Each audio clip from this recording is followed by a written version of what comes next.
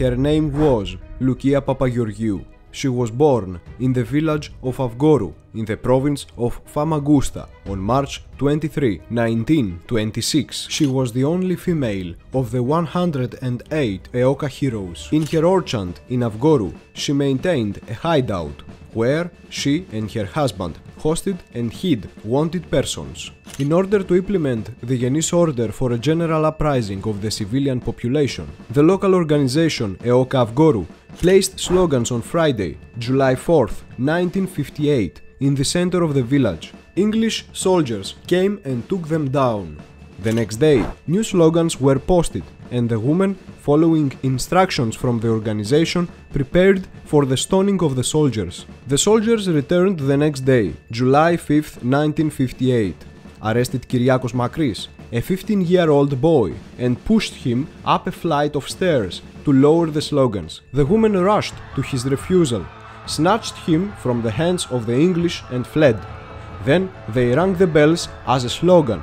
The villagers gathered and started stoning the soldiers. Loukia, who was one of the protagonists of this attack, at the time the soldiers arrived, was bathing her little daughter Theodora while the bell was ringing. She left the child in the bathroom in the care of her husband's sister and hurried to unite with the other woman.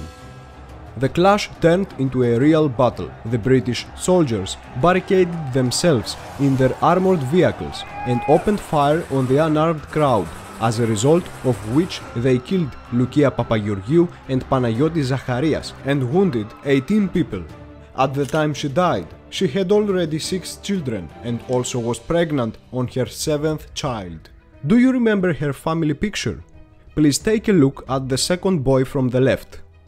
Her son, Christodoulos Laoutaris, grew up and joined the army. He went to the front in 1974 together with his cousin Antonis Papageorgiou to defend the island against the Turkish invasion. Both heroes fell in Templos, in the now occupied province of Kerinia. Their bones were found in the year 2021, so 47 years after their death. Their funeral took place on 17th of July 2021. May the memory of Loukia Papageorgiou and her beloved ones be eternal, both in our hearts and on the monuments.